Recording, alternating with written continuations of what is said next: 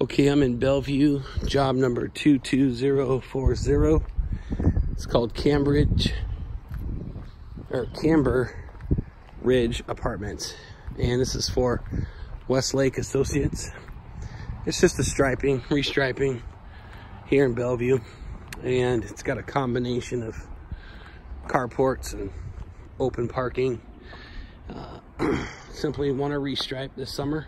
It's been striped before, it's been seal coated before, and they've got 507 lineal feet of red painted curb, which uh, we'll need to come in and power wash because it's been colored yellow and red, as you can see.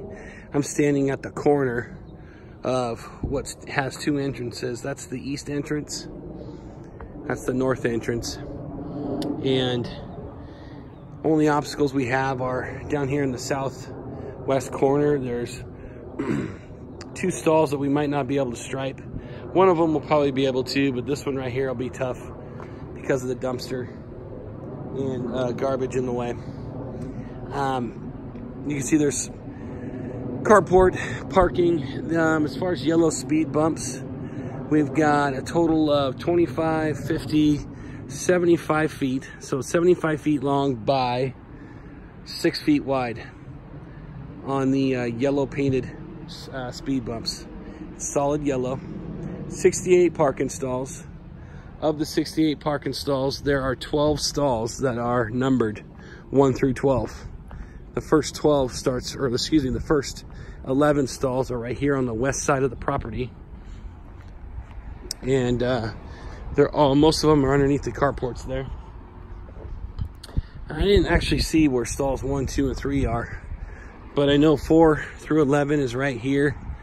And then down where my car is at the end, if you take a right, stall number 12 is underneath the carport over there.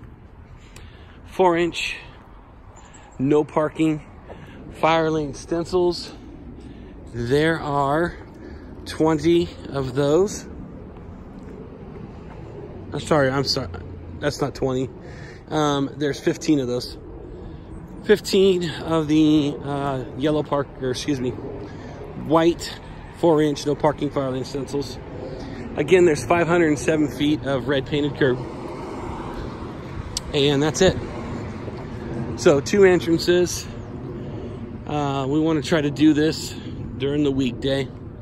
So it'll take some coordinating if they want to have that stall stripe down there where the dumpster was, we're going to have to uh, tell them and give them plenty of notice so that they can get that cleaned up. Okay, ends right here.